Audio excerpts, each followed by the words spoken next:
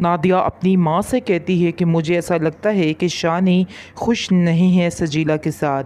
आगे से उसकी माँ कहती है कि तुम्हारी गलत फहमी है, जो कुछ तुम सोच रही हो, ऐसा नहीं है। उसकी माँ कहती है, वैसे शान से हमारे घर के लिए बेहतरीन ऑप्शन था, बहुत ही अच्छी लड़की है। आगे से नादिया कहती है, लेकिन वो हमारे घर की बहू कैसे बन सकती है? उसका आप देखिए क्या स्टेटस है और हमारा क्या है।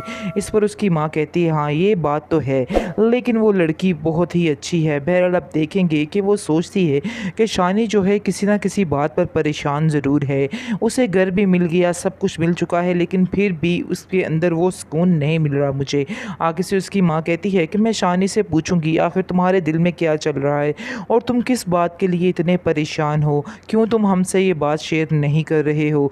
तुम्हें हमसे सारी बात शेयर करनी होगी ताकि हमें पता चले कि तुम्हारे दिल में आखिर क्या चल रहा है। इस पर वो शानी से जैसे ही बात करती हैं, दोनों माँ बेटी और कहती हैं कि हमें ऐसा लग रहा है कि जैसे तुम बहुत ज़्यादा परेशान हो। आखिर क्या हकीकत है? तुम हमसे बात को शेयर कर सकते हो। इस पर आप देखेंगे कि शानी कहता है, नहीं, ऐसी कोई बात नहीं है। अगर कोई ऐसी बात होती तो मैं आप लोगों से ज़रूर शेयर करता। फ़िलहाल ऐसी कोई बात नहीं है और ना ही ये वक्त है बताने का। जब वक्त आएगा तो मैं आपको सारी हकीकत बता दूँगा। फिर आपको मेरे ऊपर कोई गिला शिकवा नहीं रहने वाला है।